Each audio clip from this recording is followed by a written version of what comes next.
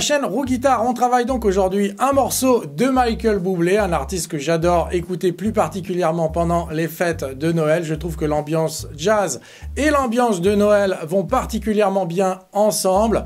Et si on peut avoir en plus un petit solo de guitare sympa, eh bien c'est vraiment l'occasion de continuer à s'entraîner avec notre instrument. Alors sur la chaîne Roux Guitar, je vous propose des tutoriels dans les styles blues, delta blues, picking et jazz, mais pas du jazz de haut vol que vous allez jamais pouvoir jouer, des solos de jazz que vous allez vraiment pouvoir apprendre. Donc celui-là, on a des doigtés qui sont relativement simples. Alors je dis pas que voilà, vous allez pouvoir apprendre à le jouer, il suffit juste de doigts et en un quart d'heure c'est bouclé. Mais si vous y passez suffisamment de temps, si vous savez vous servir à peu près du le guitare, là, ça va vraiment vous intéresser et vous donner eh bien un petit peu de visibilité dans ce style qui est souvent abordé de manière un petit peu trop complexe. On démarre immédiatement par l'analyse du solo et des motifs les plus complexes. Vous allez avoir les tablatures qui vont apparaître à l'écran et comme d'habitude, vous pouvez les télécharger au format Guitar Pro et PDF en ouvrant la description de cette vidéo. J'aurais bien à titre personnel voulu commencer par les accords, mais je sais que ça va en refroidir plus d'un. Et en général, moi-même, quand je regarde un petit tuto sur un solo de guitare, ça me gonfle un petit peu qu'on monte les accords. Mais en fait, je ne peux pas vous l'expliquer ce solo si je ne vous parle pas des accords. Donc les accords, j'en parlerai après le solo. Maintenant, c'est parti. Donc nous sommes en Do majeur, c'est aussi simple que ça. Do majeur 7, vous allez le jouer en fond et lui, le solo, il va être joué autour de la majeure pentatonique de Do.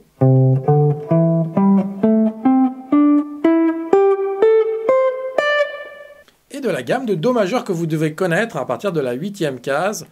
8, 10, 7, 8, 10, 7, 9, 10,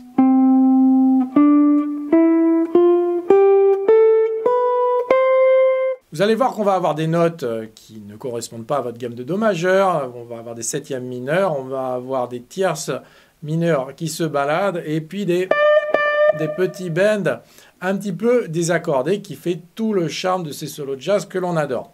Alors, j'étais sur la dixième case, et ben ça démarre comme ça sur le deuxième temps avec un demi-bend. Vous allez le faire deux fois. Le feeling de swing, c'est important parce que si vous jouez votre gamme comme ceci, 1 et 2 et 3 et 4 et... Ça sonne pas très jazzy, mais si vous la faites comme ceci, 1, 2, 3, 4, ça sonne tout de suite beaucoup plus crédible. Et eh bien c'est ça qu'on va faire. Donc dixième case. Alors la huitième case, eh on parlait de tierces mineures. En voilà une qui rajoute un petit peu de tension. Ensuite, il va répéter les mêmes notes. Souvent, le blues et le jazz, c'est ça, vous répétez les mêmes notes. Le slide, c'est assez simple cette petite phrase. Donc là, vous allez slider de la dixième vers la douzième. Donc là, on a un petit chromatisme. Attention, le doigt numéro 1 en demi-barré pour revenir à la dixième case. Doigt numéro 3, 12, 10, 9. Donc avec le même doigt. Vous pouvez faire évidemment avec le petit doigt, mais je pense que ça va être plus simple de faire. Ensuite, le petit doigt. Donc là, ce placement rythmique, vous allez peut-être le chercher un petit peu. Ensuite,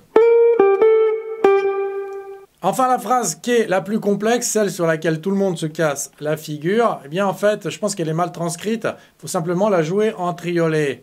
1, 2, 3, 1, 2, 3, 1. Donc ça, vous n'allez pas faire comme beaucoup font l'erreur. C'est simplement une grace note, une petite appoggiature. Donc vous allez faire 8, 10, 8. Et ensuite 10. Mais 10 en partant de la 11e case. Pouvez le faire en pull-off ou en attaquant, la huitième case. Donc ça, je le fais avec le même doigt, mais je fais deux attaques, le 11-10.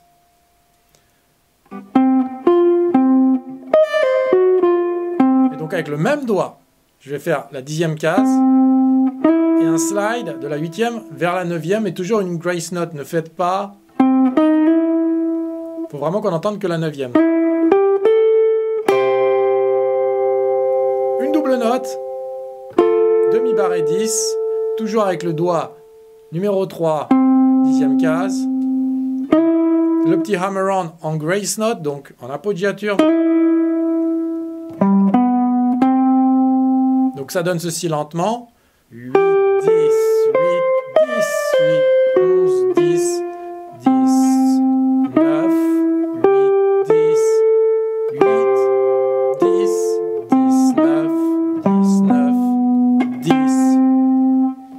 De chance, là, on n'a pas de répit, c'est-à-dire qu'une fois que vous avez réussi votre exploit à jouer cette phrase sans vous planter, vous devez enchaîner direct avec le...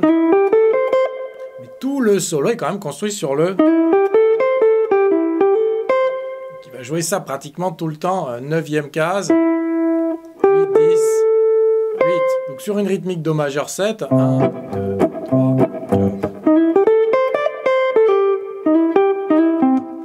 toujours ce genre de choses, vous avez votre accord qui est dessiné ici, et puis vous allez jouer les notes qui sont à la fois empruntées à la gamme et enfin à l'accord. Donc le reste est retranscrit avec les tablatures. Donc ensuite vous avez quelques notes qui sont rythmiquement un petit peu difficiles à placer. Va falloir bien bien mémoriser ça. Mais sinon il n'y a rien d'autre à faire que passer du temps dessus. La dernière phrase.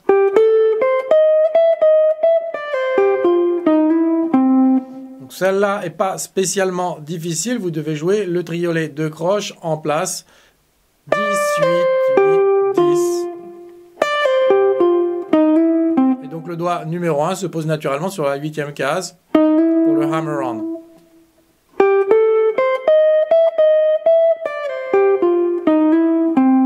Ça ne devrait pas être difficile. Vous avez la dernière phrase sur laquelle je ne pensais pas venir, mais peut-être que vous êtes curieux de la connaître.